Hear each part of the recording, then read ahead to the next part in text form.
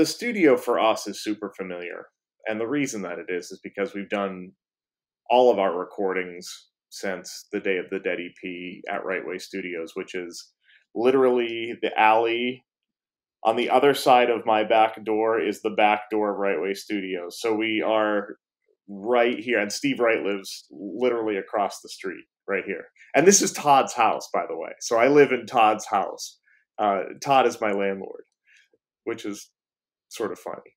Um, but yeah, I mean, it's we've done all of our records there, so that so it's just putting on a different hat. You know, it's you know we did the last. Um, you know, we've done all all the Polkadot Cadaver stuff there, and we did the Knives Out records there, and and um, we just recently did Beyond Paranoid there.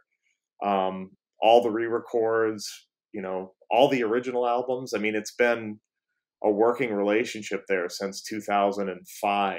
So, you know, think about that. It's crazy how many, you know, how, how many records we've actually made, you know, in that building. Really, nothing was different jumping right back in. You know, we I I went up there to do Beyond Paranoid's vocals, um, and to kind of just just be there in spirit uh, and and in person for Tommy doing his drums. Um, Jason and and uh, Brian were kind of left to work with Steve, um, our engineer. Um, but going back to the studio, I mean, it, to be quite honest with you, was like I don't know, almost two years later, and it didn't feel any different at all. The way that I'll do bass is, you know, uh, after uh, Jason will lay some guitar down, Ensminger will go in and do the drums. Um, and then uh, I'll go in with Steve afterwards, and then we will take about three days or so and develop the base from that. Um, know, and then usually, you know, we give ourselves about three days when we're doing it. Um, and me and Steve have never I think there was one time that after three days, I had to go back in and fix like one thing. Um, you know, we used to give ourselves like just a full three days with setup and getting tones and everything like that. And you know, if it, if the chemistry is good, then we can get it done in two to two and a half. All right, what are we doing here, motherfucker? Um, what were you? Good, good, good, good. Good. I like that tone. What do you think? You like tone? Yeah, I think so. Steve um, is a guru when it comes to tones and gear and everything. And um, it's really sort of every time I go in and we, I think that, you know, we're going to repeat something that we did from last time as far as like getting a sound or a tone. Um, he it's what he switches it up one way or another. And usually it's because he's got you know a new compressor that came in from germany that was you know there was 10 of them left in the world and it was from 1942 and or something you know he just has all this great stuff like that. Ah that's what it is. The uh that's why it's so messy. Um the middle ones are different. Middle oh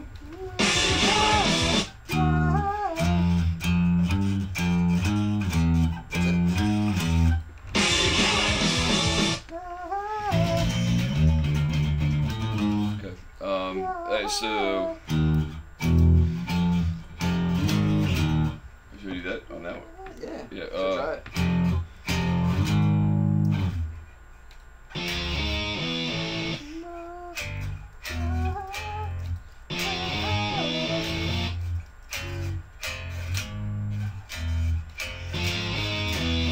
There you go.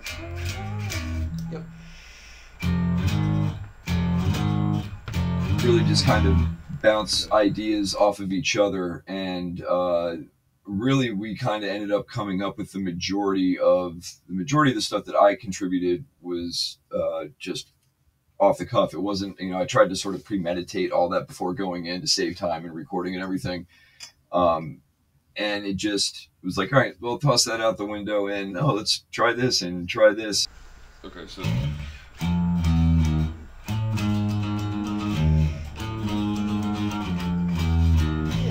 that for like the, and then halfway through on the second one. yeah.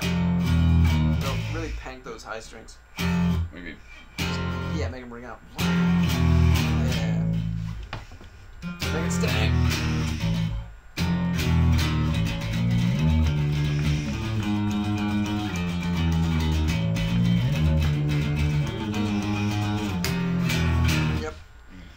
You know, in, in the past on some of the re-records and things like, you know, Tim's got some studio stuff at home. He could um, do keyboard parts and he would send them over, you know, and Steve would mix them in. Jay might do guitar at home, reamp it in the studio and come and do things like that. And this time everybody, uh, Tim came in town, did the stuff at the studio, played on the brand new piano that they just got over there.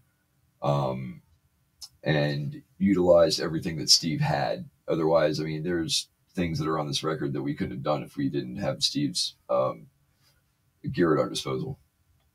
it actually the last time I recorded into the studio with Steve was Sweet Nothings and Ad Nauseam. That was what 2015, 20, 2014 and 2015. Um, so it was actually cool to kind of have that guy behind you, kind of kind of leading you and giving you some notes and stuff like that. Um, every other one before that, the the re-records and some of the other stuff that we were doing, I just sent in tracks from here.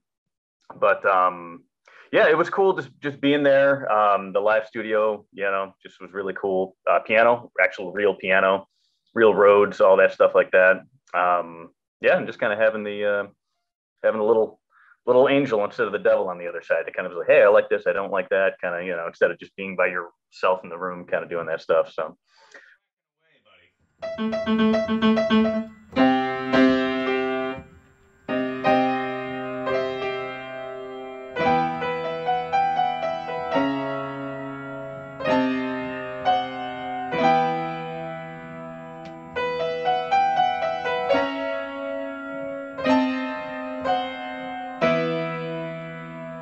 we kind of have an outline and uh, like everything else everything's just kind of up there and um, he lets me he, he does like we have kind of a, uh, a small little thing where it's like okay this will work that'll work but he'll he'll definitely take take after take. It's um he'll he'll let you kind of breathe a little bit but he'll also know when to when to kind of move on because you can you can keep doing things and doing things over and over and over again. And uh, sometimes you'll get you'll get lost into that yourself. And you're like i could do it better. And then you realize you go back and listen to that stuff. You're like oh it's yeah we, we either hit it already or this is this is the one. This is the take. Organ, organ. Show me your organ, Tim.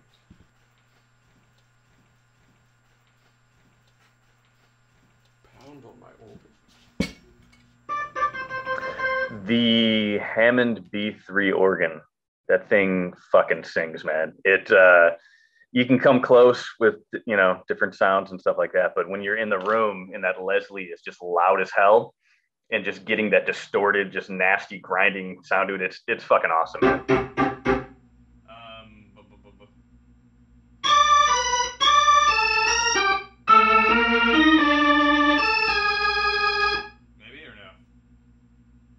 Had three days, so it was it was different that way, where there was kind of a kind of a crunch time, you know. So actually, in all honesty, there was some stuff afterwards that I forgot I played.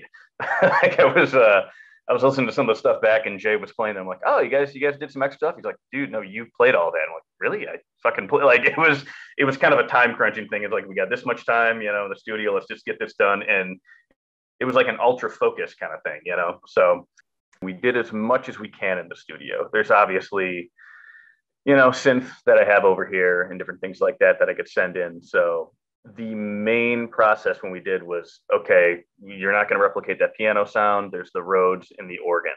It's all the live tones in there. So we kind of went through and just knocked all those out first.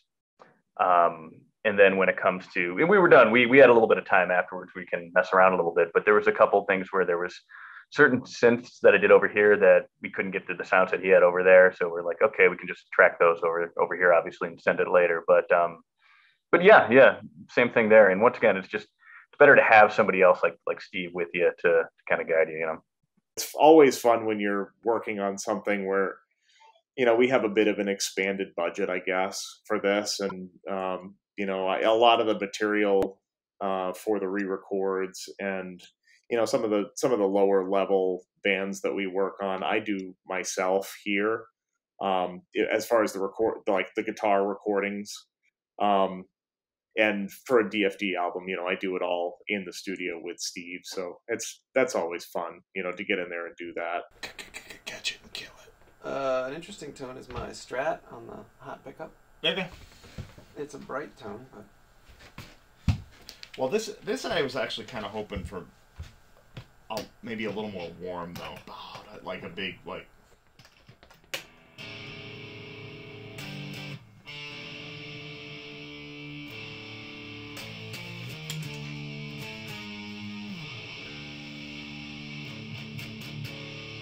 Boy, that is a hot, hot, hot strat, man.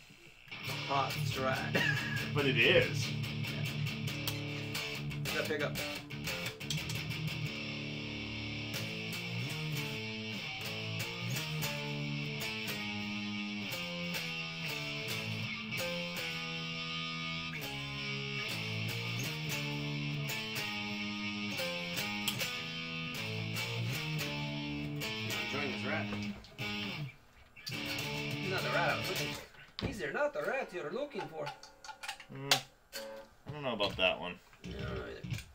You know, I can get guitar parts here for the other bands, um, and the I can get them to like a really good place. No complaints. The tones are good. Everything seems to work just fine. You know, it's like ninety five percent of the way, but it's that last five percent. You know, when you're working on a dog fashion record, when when it has to be perfect, that last little five percent that that when you're actually recording the guitar in the studio, it makes a enormous difference.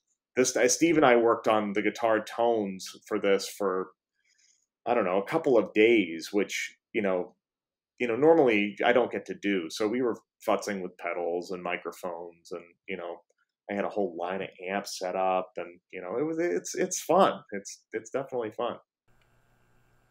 What are we looking for? Do you want maybe like a? I mean, I could even say like this, like just we're looking just for like just like ratty like yeah, because this is gonna be a double, and I'm looking for something not so perfect. Okay. So like kind of dull and. what did I do? Here it is. What's up, your focus? Ha! This fucking guitar. Mud. Five, five string special. I mean, it just sounds like Ampeg. It's just muddy It's, it dark. sounds like an Ampeg. Muddy and dark. You Imagine being in that factory. Quality control. Well, it's muddy and dark. Put a stamp on it. It's it sounds like it sounds like a long-haired dude smoking cigarettes outside with slumped shoulders. yep, in the seventies.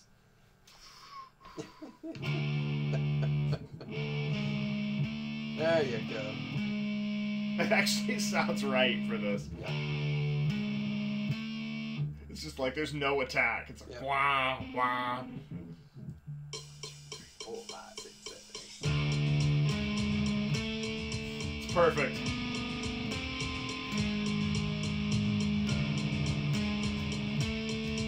Start one more time. That is that is ridiculously perfect. Here we go.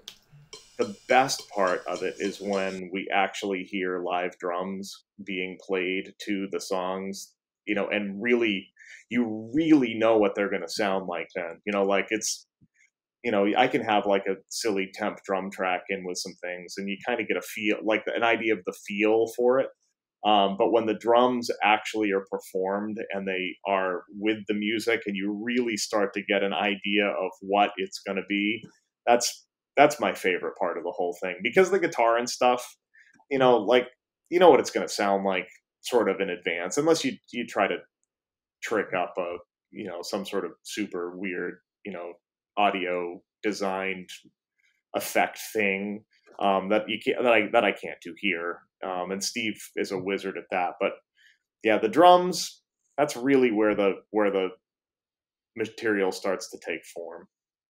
In the past, I would go in and I would lay down my drums to, you know, a scratch guitar track. With this process, we actually did it backwards, which was super, super enjoyable on my part and for Steve as well. So we did the um, scratch electronic drums in May of this year. And then I came back up over the summer and laid down scratch acoustic drum tracks. And then everybody recorded their parts for most of it. I think there are a few keyboard things and some of the horn parts weren't written. But I had the benefit of going in after everybody had finished recording their parts and then play to them as opposed to the opposite. Usually I go in and do my drums and everybody plays to me. And then when I'm done, I hear all these little nuances that maybe I would have liked to have played to, but I didn't get the opportunity because I went in first and I'm done. Whereas in this case, I got to go in when everybody was done and then play to those little nuances um, and get them. It's it was a more complete drum part.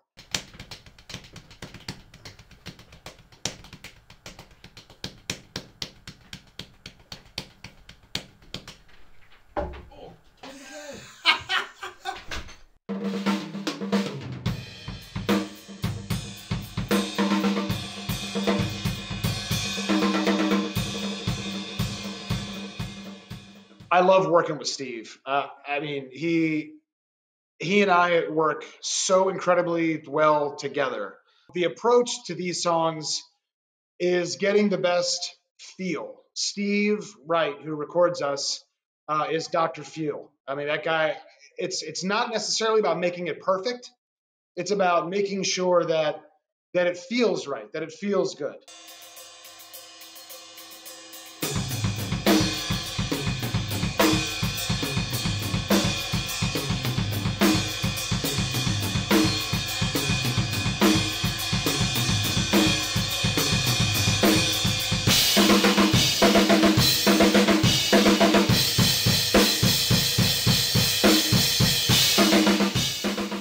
Approach the recording wanting to get the right part first and foremost.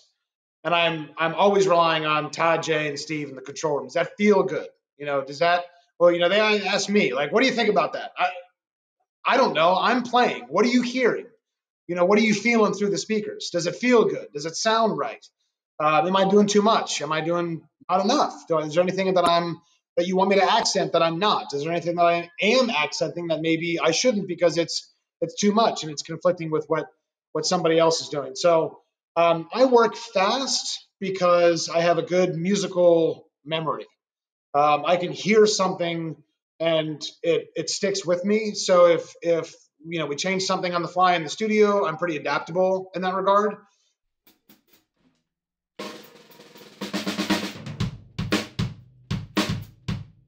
Give me a give me just a little a little more advanced warning.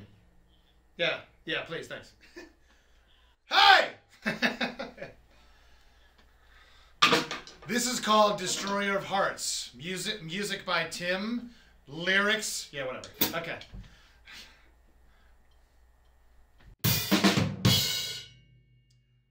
That was take one. One more. Here we go. We try to get the best take. So we'll start at the beginning and we'll play for as long as, you know, I feel like the take was good. Um, and you have to remember too, is, you know, playing drums is, is a really physical activity. Duh. I mean, you're, you're using your, your, your whole body. I, I, I go in there. The first thing I do, there's a, there's a thermostat dial immediately behind me on the wall. And I'll go back there and I'll turn it down to 68 as soon as I walk in there. I don't want it to be any warmer than 68 when I'm recording my drums because the hotter it gets, you know, the the faster I I'll wear out and and I can't go as long. My hands start to tire, and um, you know I want to make sure that the takes over the course of the entire day are good.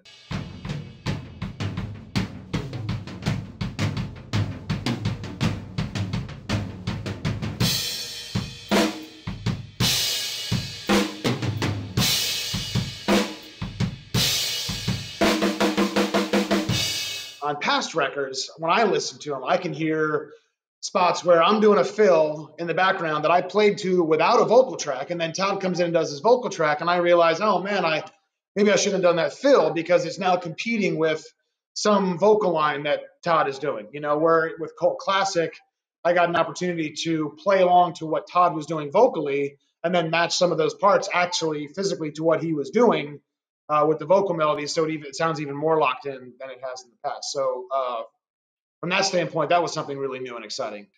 I've worked with Steve at Wright Way Studios for so long that it's it's almost like going over to a friend's house after you haven't seen them for a while, and then you just find your place on the couch and start BSing, and you're back into the rhythm.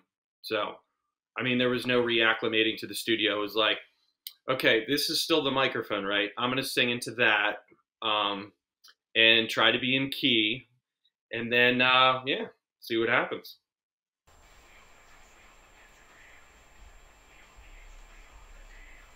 Death won't over and over. Oh, and then hell has taken you over. Which I can do new right now.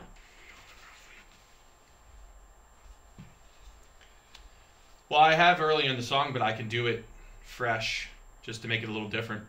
One of the things that I love about in the studio the most is just like seeing that creation come to life.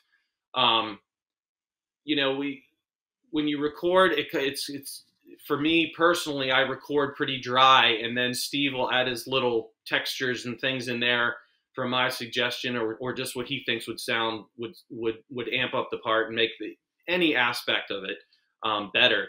And once he does his little trickery in the studio, it just comes to life even more than you than you ever thought possible. You know, you know where it has death warmed over and over. We need another. We are the cross. We are the pentagram. We are the angels. We are the damned. In in place of that last death warmed over. Yes. Yes. Okay.